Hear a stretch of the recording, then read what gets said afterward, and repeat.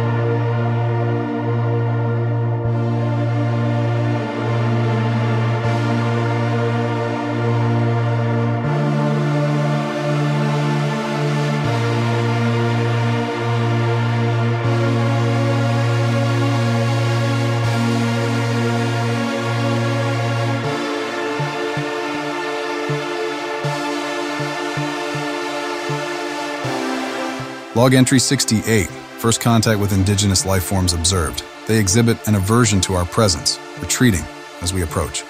Behavior noted for further study. Continuing search for Team Alpha.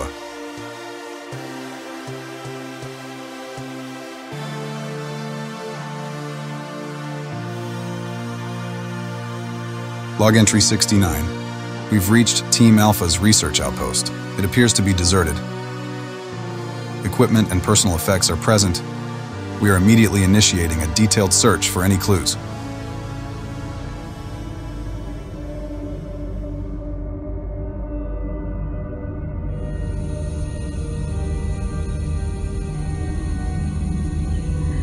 What are you doing? This is madness, Daniel. We need to report back first.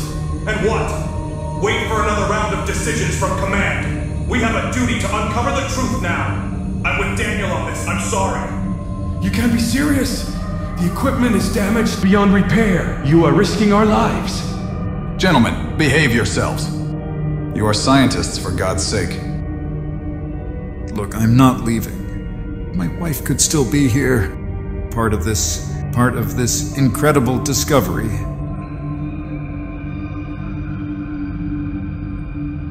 Captain's log 72.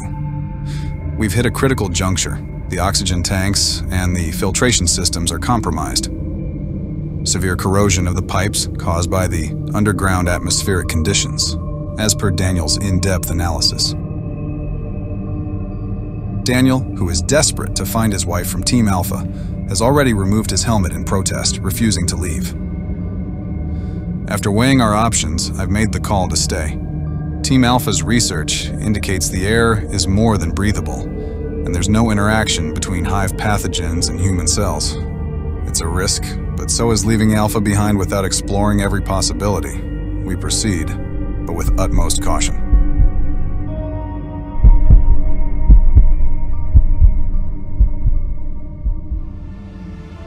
Captain's Log 80. While still no sign of Team Alpha, it's remarkable how quickly we've adapted to the hive. Removing our suits changed everything. The creatures, once elusive, are now docile, even curious. We've been able to study them up close. The hive functions as a unified entity, with changes cascading seamlessly throughout, swiftly regenerating any damage in mere seconds. The insights we're gaining could redefine human medicine. But the crew's gotten too comfortable, too careless.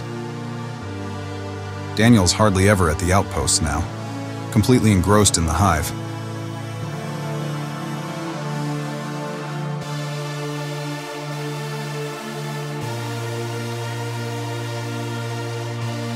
Are you still there?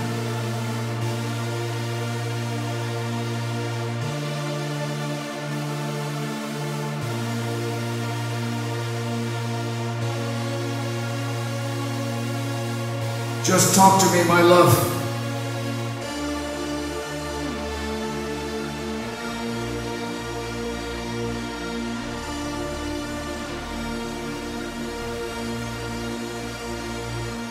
Captain's Log 93. Today's discovery is a wake-up call. Our samples from the hive structures contain human DNA. Sequences matching Team Alpha. What we thought was a rescue mission is now an extraction. We're not safe. The risks are too great, and the implications of our findings are deeply disturbing. I'm ordering immediate evacuation.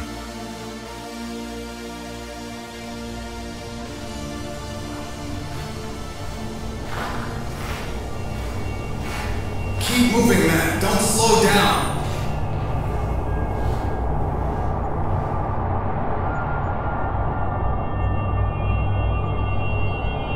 What's happening? What is this? I don't know.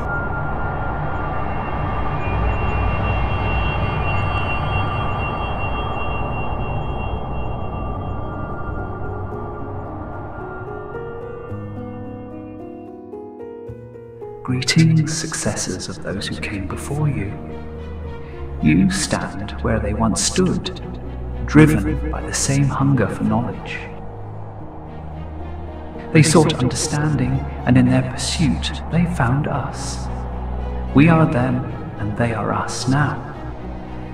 United in a consciousness that spans the fabric of space and time, they embraced a destiny far greater than their individual selves, an existence unbound by mortal constraints, a mind woven into the tapestry of the cosmos.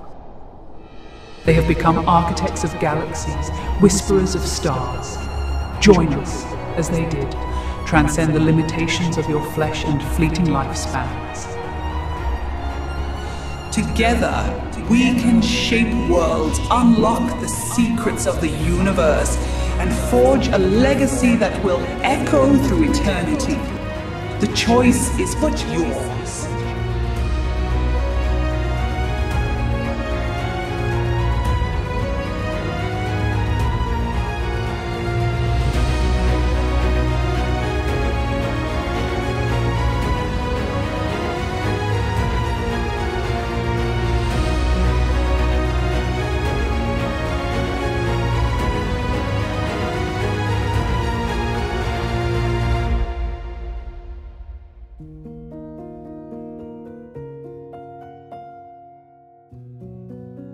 They've chosen an endless journey, and there's this nagging doubt.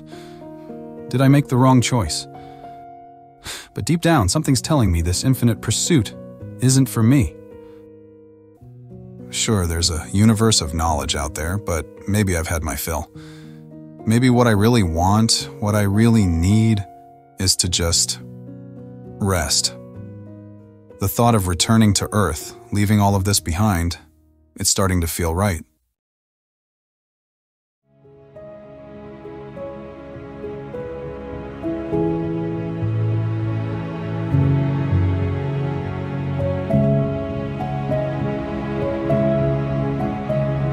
Little monsters.